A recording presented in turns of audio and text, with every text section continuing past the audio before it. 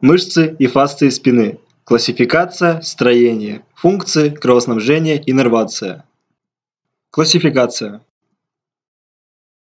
Мышцы спины делятся на поверхностные и глубокие. Глубокие, в свою очередь, делятся на поверхностный слой, средний слой и глубокий слой. Поверхностные мышцы спины прикрепляются к скелету плечевого пояса и к плечевой кости и располагаются в два слоя Первый слой составляет трапециевидная мышца и широчайшая мышца спины. Второй – большая и малая ромбовидные мышцы и мышца, поднимающая лопатку.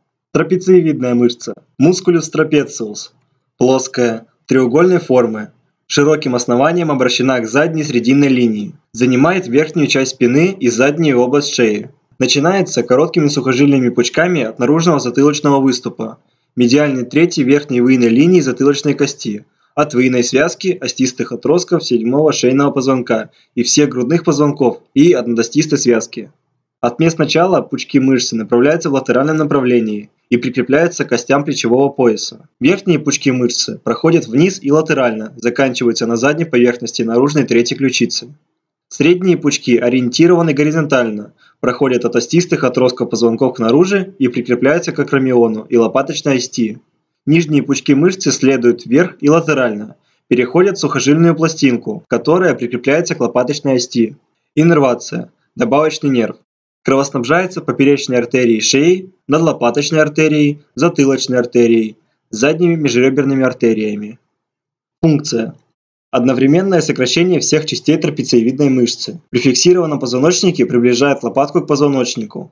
Верхние пучки мышцы поднимают лопатку, Верхние и нижние пучки при одновременном сокращении вращают лопатку вокруг сагитальной оси. При укрепленной лопатке и сокращении с двух сторон мышца разгибает шейный отдел позвоночника и наклоняет голову назад. При одностороннем сокращении незначительно поворачивает лицо в противоположную сторону.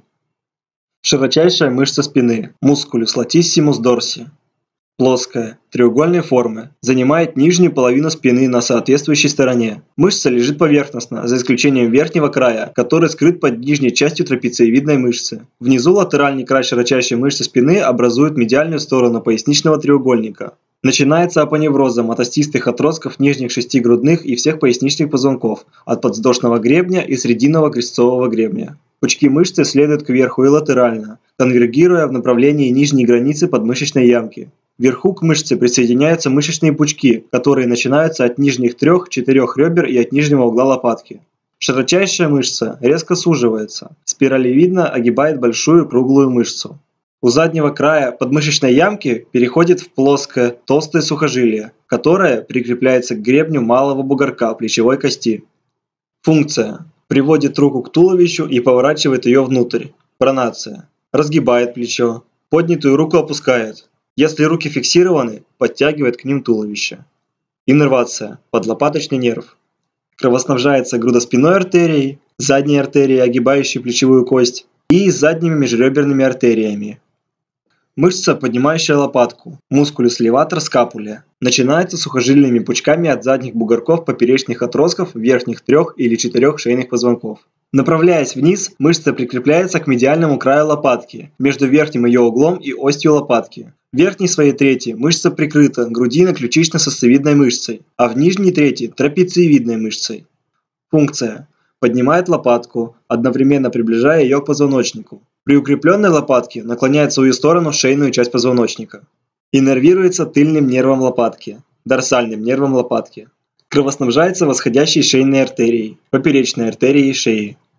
Малая и большая ромбовидные мышцы, мускулюс ромбоиды, минор эт майер. Часто срастаются и образуют одну мышцу. Малая ромбовидная мышца начинается от нижней части выйной связки, остистых отростков седьмого шейного и первого грудного позвонков, и от надостистой связки. Пучки ее проходят косо сверху вниз и латерально и прикрепляются к медиальному краю лопатки, выше уровня ости лопатки.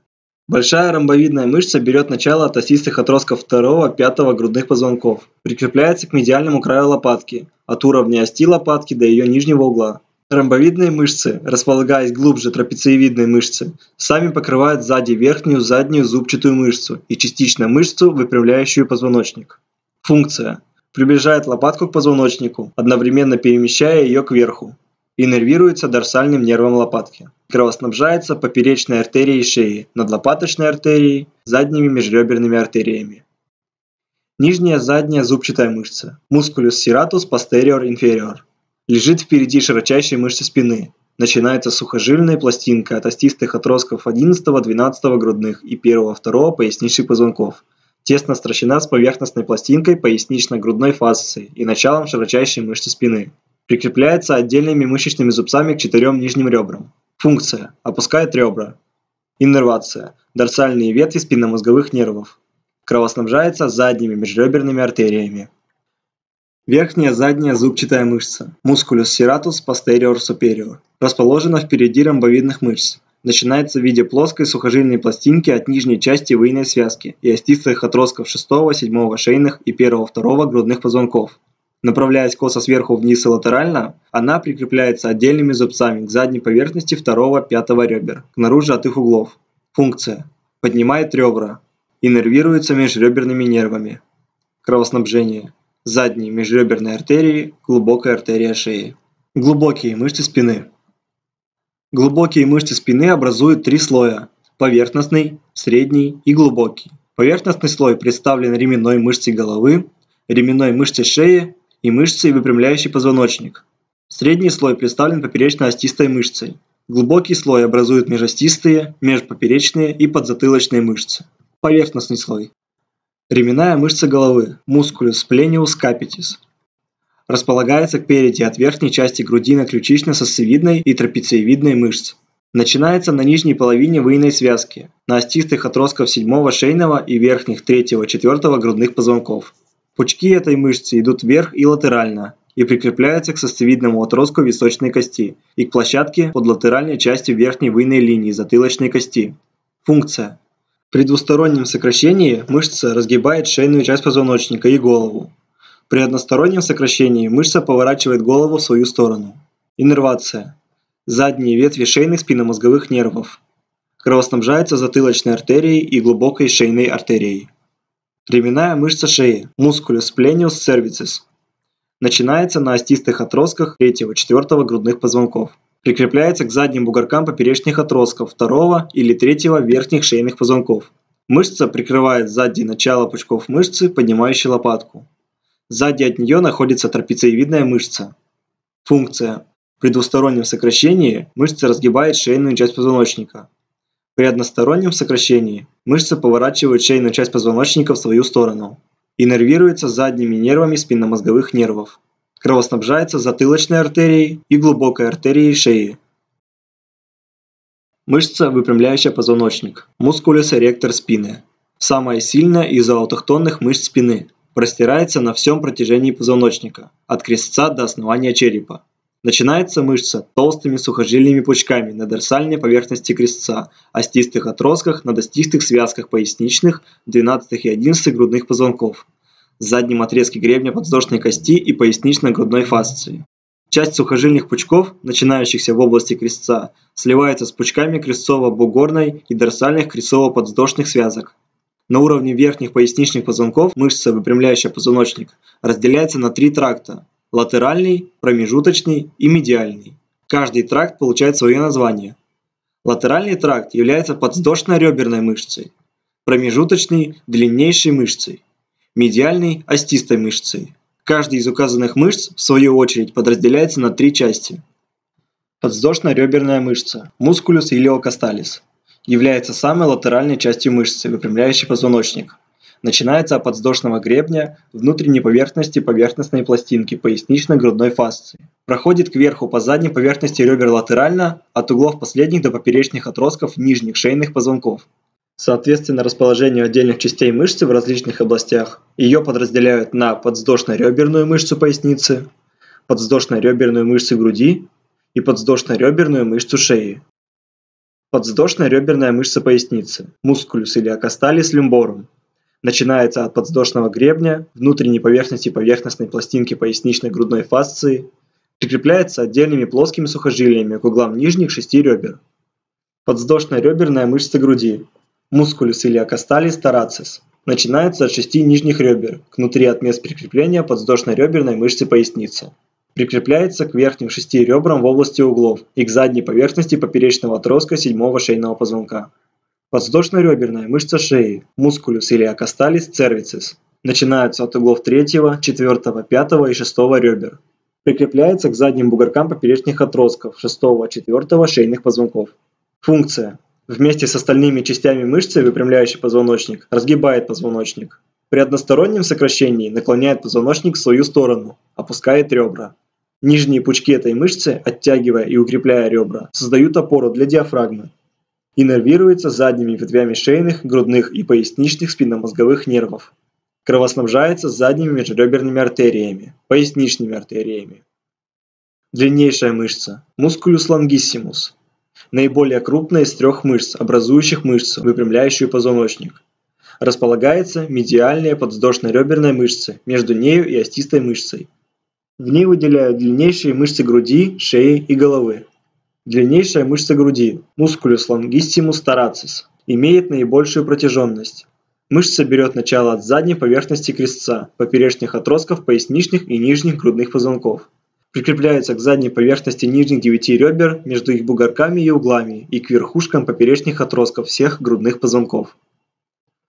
Длиннейшая мышца шеи – мускулюс longissimus cervicis начинается длинными сухожилиями от верхушек поперечных отростков верхних пяти грудных позвонков. Прикрепляется к задним бугоркам поперечных отростков шестого, второго шейных позвонков. Длиннейшая мышца головы – мускулюс longissimus capitis. Начинается сухожильными пучками поперечных отростков первого, третьего грудных и третьего, седьмого шейных позвонков.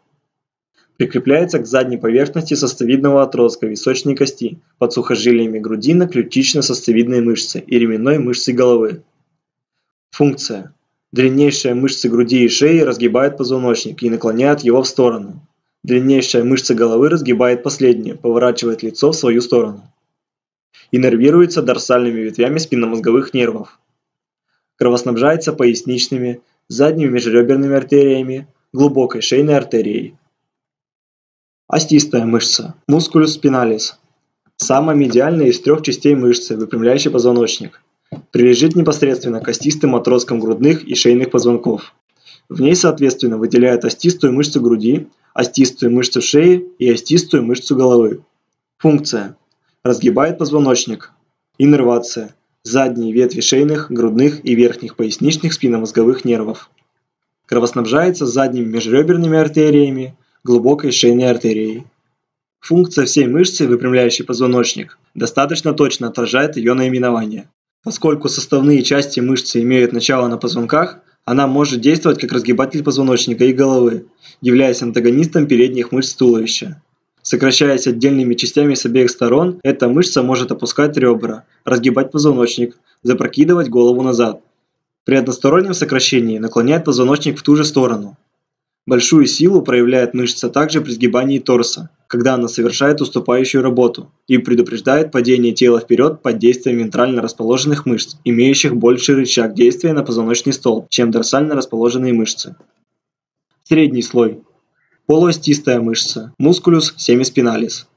Имеет вид длинных мышечных пучков, начинается от поперечных отростков ниже лежащих позвонков перекидывается через 4-6 позвонков и прикрепляется к остистым отросткам. Разделяется на полуостистые мышцы груди, шеи и головы.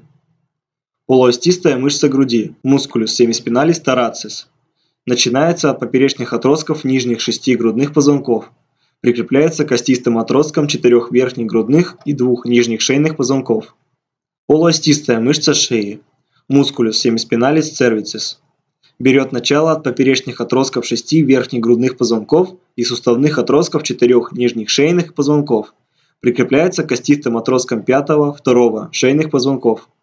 Полуостистая мышца головы, мускулюс семиспиналис капитис, широкая, толстая, начинается от поперечных отростков шести верхних грудных и суставных отростков четырех нижних шейных позвонков.